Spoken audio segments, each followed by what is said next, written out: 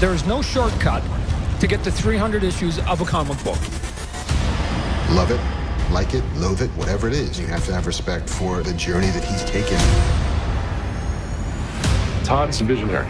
That guy literally came from nowhere. Out of nowhere. When I bought my first comic at 16, I just went, Oof. I got 300 rejection letters.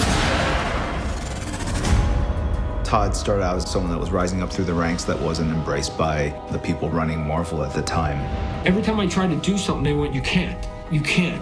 So I can't do panels that overlap. I can't have appendages come out. I said, break the rules and make it look cool. They wanted Spider-Man to shine. They didn't want Todd to shine. There just become moments where I just go, if nobody's going to do it for me, I'll do it myself. Oh yeah, I got this character. He's dead. He's from hell, and I'm calling him Spawn. It was completely unique. It was a game changer. Sold 1.7 million copies. Todd did for toys what he did for comics. He did it all on his own. That's Todd's brain. Success, for the most part, comes with a target. You can't be in the public eye as Todd is and not have people try to take you down. He nearly lost everything. Except, I'm not going to get pushed around. I'm going to fight back. That's how Todd lives his life. What is the status quo? I don't care. This is where it's going to go.